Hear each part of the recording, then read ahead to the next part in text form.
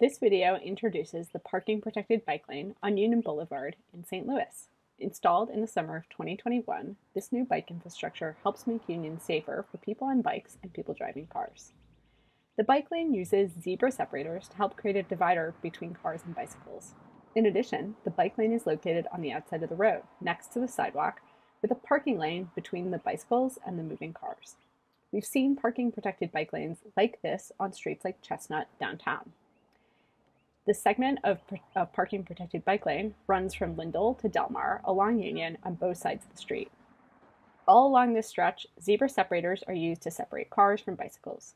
These separators are sturdier than posts used on other parking protected bike lanes, such as Chestnut, but prevent drivers from going into the bike lane. So, if you're riding your bike, you'll have sidewalk with pedestrians, trees, and driveways to your right, and to your left are the zebras, then parked cars or parking spaces, and then traffic lanes. This helps keep the bike lane clear, open, and accessible. It feels more comfortable to be so far away from the fast moving traffic.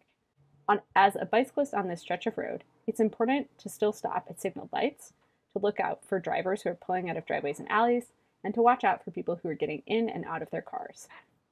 The improvements are on both sides of Union, from Delmar to Lindell, so as you head south towards Forest Park, you'll see the same arrangement, with bike lanes being protected from the traffic lane by parked cars and zebras. As the weather warms up, head outside and take advantage of the opportunities to more safely get around our city and see this improved infrastructure for people biking and people walking. We'll see you on Union Boulevard this spring.